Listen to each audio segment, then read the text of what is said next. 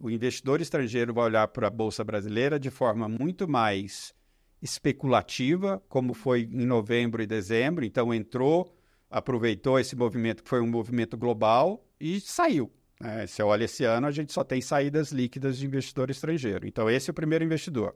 Segundo investidor, pessoa física. Pessoa física já bem, aqueles que têm a, a, posição em bolsa já bem machucados de uma bolsa que né, fica mais ou menos no mesmo nível uh, já faz algum tempo, uh, perdendo o custo de oportunidade do CDI, e uh, aquele que não tem exposição em bolsa, ele olha para o CDI, olha para a renda fixa fala, será que vale a pena? Então a gente acha que a propensão da pessoa física a investir é, é baixa.